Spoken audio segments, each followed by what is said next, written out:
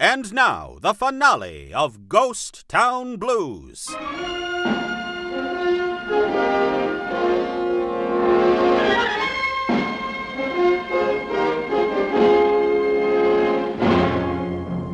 Detective Camry and his oldest childhood friend Motley embark on a journey for the lost outlaw gold in the forgotten town of Vulture, Nevada.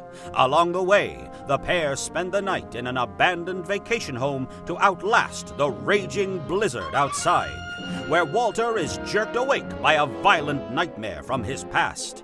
It is now the morning after, and Walter and Motley slowly ride atop their Brahmin mounts to continue their search for the lost town.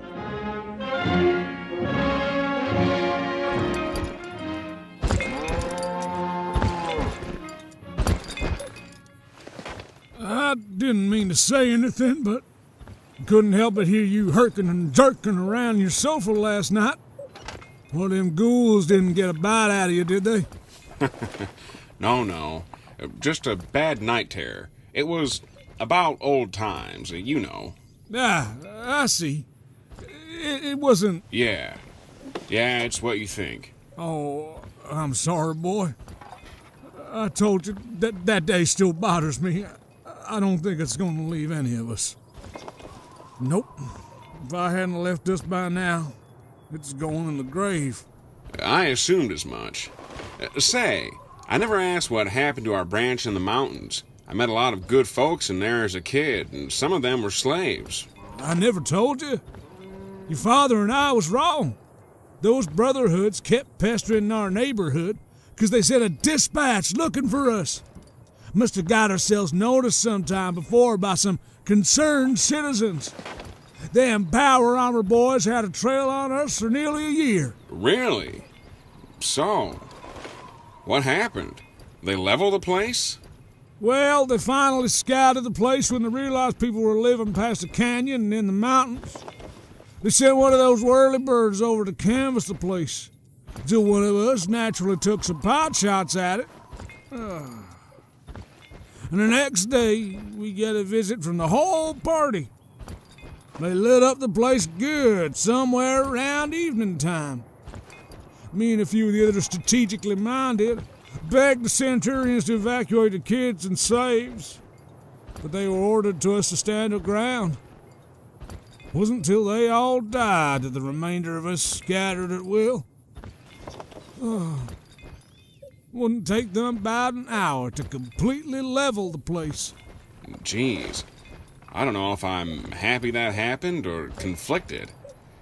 Either way, the place got what it deserved, but not all those innocents. That's the cost of war, Walter.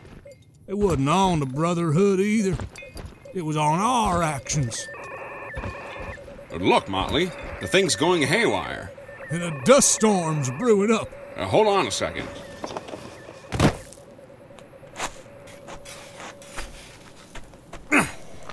I've got it. We're right on top of it. Good man, Walter. What does this mean for us now? Well, uh, this should mean that the town should be just up ahead a little further. Might as well unpack those ponchos. That storm isn't getting any calmer. Now we may burn alive in these rags, but it sure as heck beats getting skinned alive by radioactive sand. Not a terrible analysis, partner. But they both sound pretty equal to me.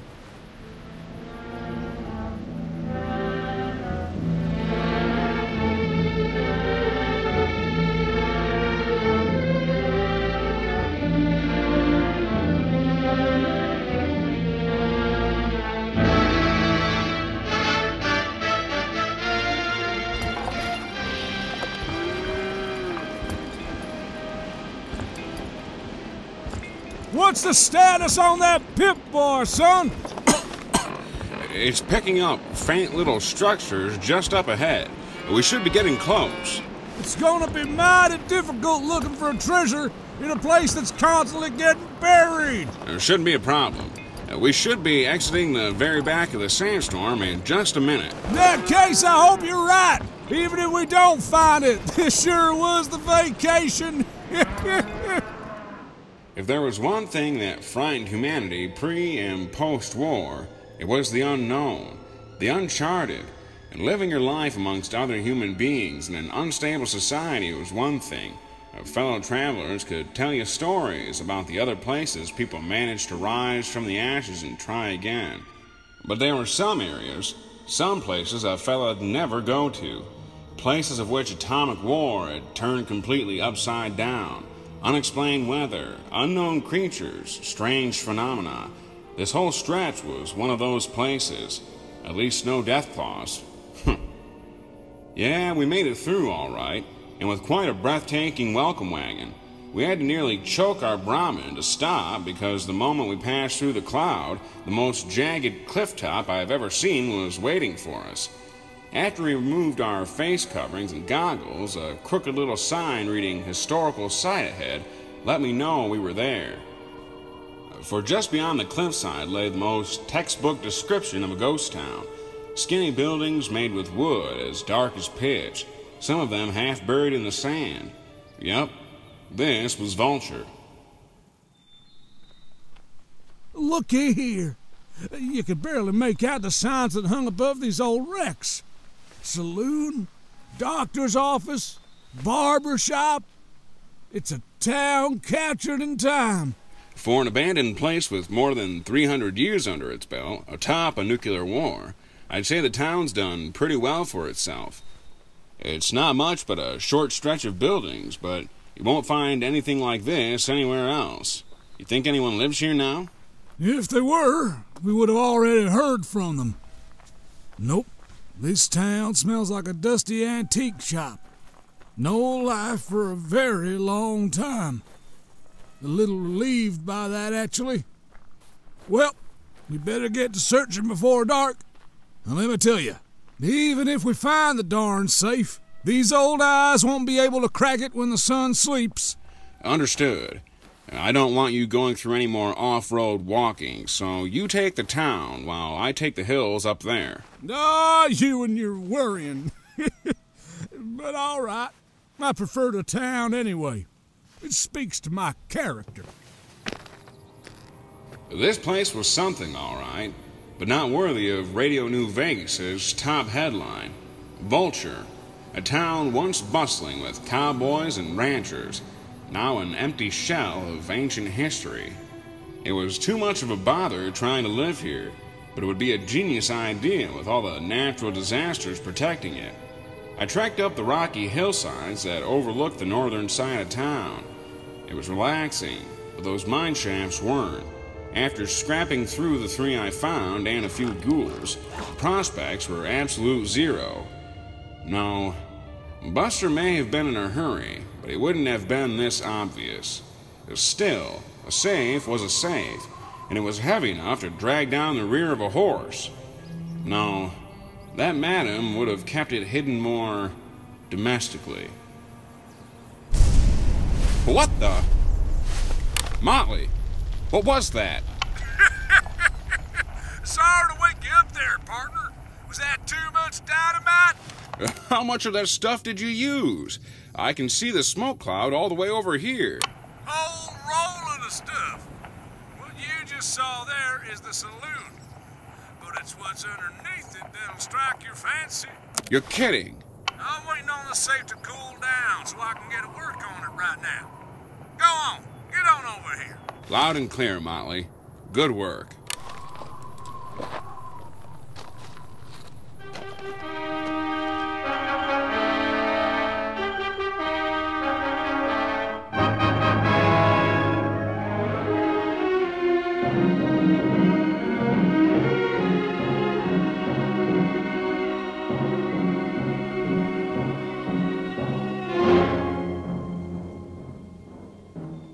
It's official. We were the first people to step foot in Vulture in over 200 years. Underneath the saloon? Someone would have cracked that case a long time ago if given the opportunity. Or maybe this was just one of those treasures that was hiding right under your nose the whole time. I did right by bringing Motley here. Had it just been me, I would have spun something so obvious into nationwide conspiracy. no, Walter. You silly. It was under the floorboards. Motley! Motley, are you in here? Hmm. Old man must have gone on a bathroom break. and goodness knows age does that to you more. The safe! Great Scott, look at that thing. Hardly a speck of rust and already cracked open. My gosh, it's as if they were brand new. Look at them. As I looked upon this valued stack of metal glistening in the sunlight, it almost made the criminal I once was weak in the knees. What an incredible moment in this new world of rock and dust. Real gold, untouched by man for centuries.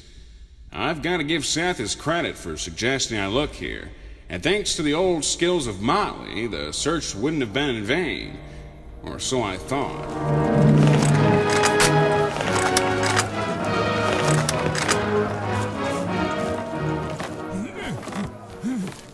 You both have been very resourceful. It's become clear that your past credentials were well deserved, but wasted all the same. However, out of all you wish to bury from your glory days, the one thing you truly forgot was that the eyes of Caesar never blink. They took me, Walter. Jumped me after I unlocked the safe and everything. They must have been following us the whole time. What say you, traitor? Based on your expertise, I would be pleasantly surprised if you had no inkling this would happen. The other patsies in those red ballpark uniforms are as common as horseflies in my area. But you, I'd know that headdress anywhere. You're Frumentarii, aren't you? Vulpes Inculta. Yes, head of Legion Frumentarii. Perhaps you've heard of the fate of Nipton by now. That was my doing. Another professional snake. What else can I say except I'm shocked that you and the boys thought we were so important for this little gathering. Refrain from flattering yourself, Wildo.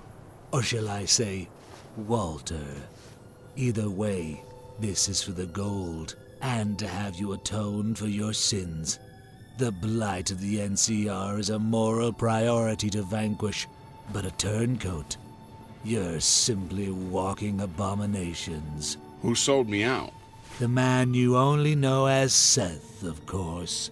If you hadn't considered someone with a knowledge base as wide as his suspicious, I would doubt your deduction skills. I see. Indeed. Knowing what I know about your father and his legacy, he would have taken care of you a long time ago if he knew what you'd become. A shell of a man, wasting his gifts to serve profligates and those who would seek to end us. And so, now that we walk your side of the river, we thought it an appropriate time to end the runt that dishonors the name of Caesar. All the while cashing in on the gold and not kicking up any suspicion from House or the rest of the Mojave. Smart move, Wolfman. What makes you think it ends here, hmm? Walter! They're gonna try and pin us up on that wood! Please! Please, whatever you do, don't let them do it to me! Anything but that! Oh, you wouldn't last beyond the first nail, old man. Let him go, Vulpes. Duly. Yeah! Motley! I'm sorry. That leaves one more loose end. Now, lower your arms and drop your weapon. I'm in the mood for fire today. Sure, Mac.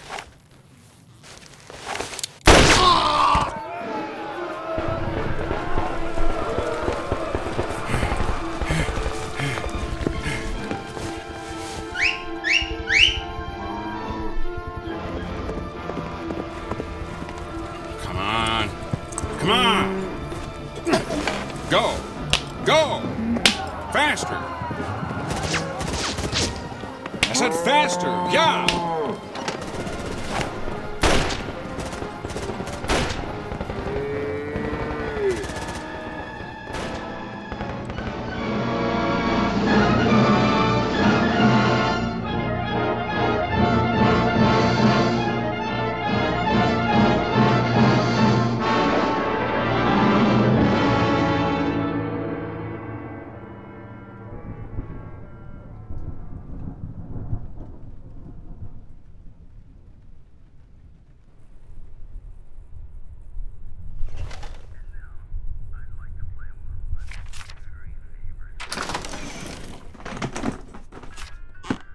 Walter! By George, you look a mess. I had the army put out a region-wide APB for you. Are you okay? What? Where's your friend? Did you drop him off? Put Arroyo on the phone. What? Okay.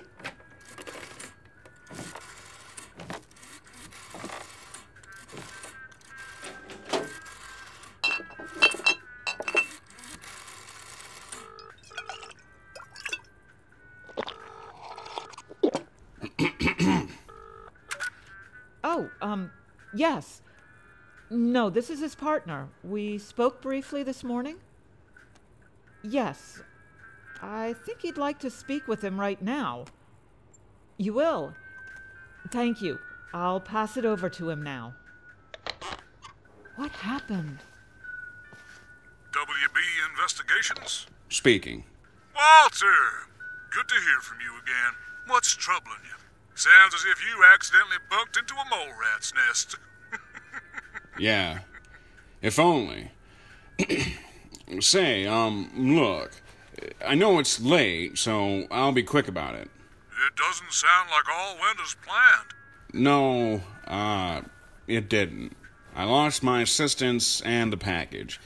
It was some elaborate setup from the get go, apparently. Well, that's. I'm so sorry, Walter. Would it be anyone we know? I regret to report it was our friends from the Bull. They have agents everywhere, and they're starting to reach high places, only further confirming my fears. Look, they took everything, just as we had our hands on it, and I can highly doubt a second attempt made on that gold. It belongs to them now. Is there anything, anything, that can compare in order to get our hands on that Chrysalis?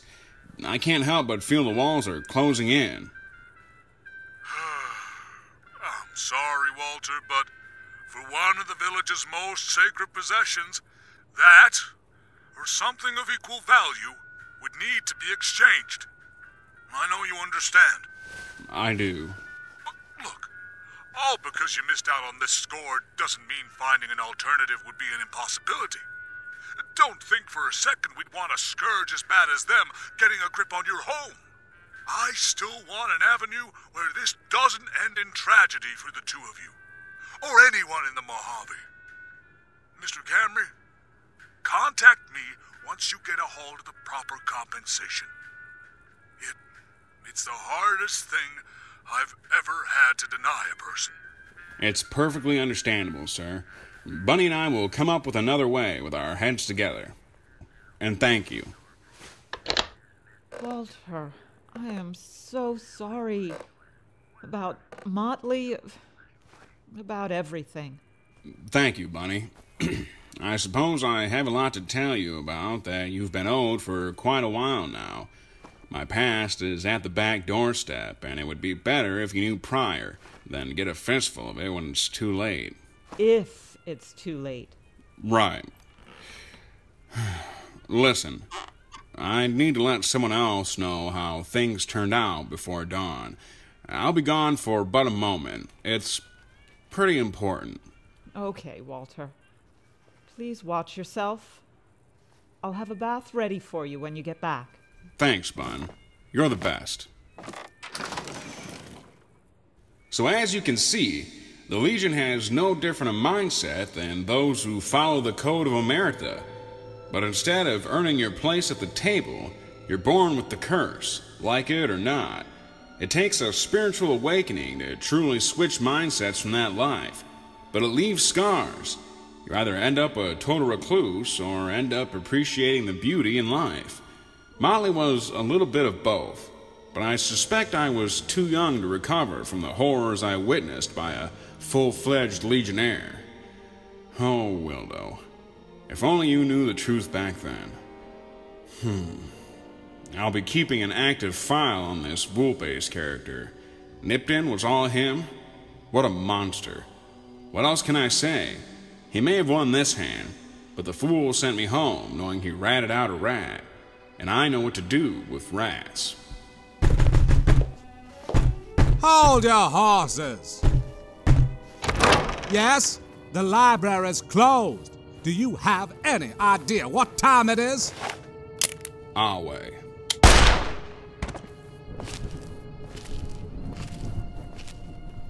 Yup, young or old, Kaiser's boys keep each of its brothers somewhat in that mindset. It's in the blood, they say, but in my case, I disagree. If that were the case, I'd be as murderous as my old man.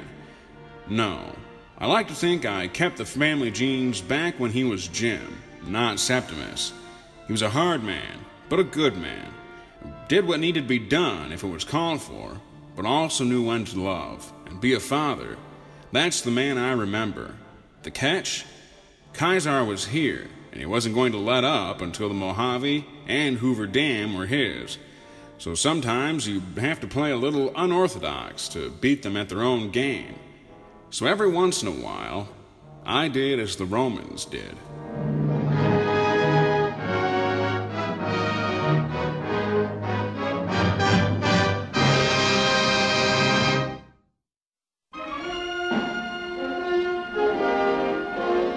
This has been another incredible mystery of Walter and Bunny. Walter was impersonated by Eric Huffman, Bunny by Sharon Grunwald, Motley, Seth, Vulpes, Magnus, and The Chosen One by Harrison Bullman, Septimus by Philip Sacramento, Brotherhood of Steel by Brendan Sutherland, written and produced by Preston Hardin, edited and mixed by Ethan Walsh. To Joel Jackal, Michael D. Batcue, and Thomas Kane, A-Bomb Radio thanks you for being wonderful patrons. Tune in next time for another adventure of Walter and Bunny.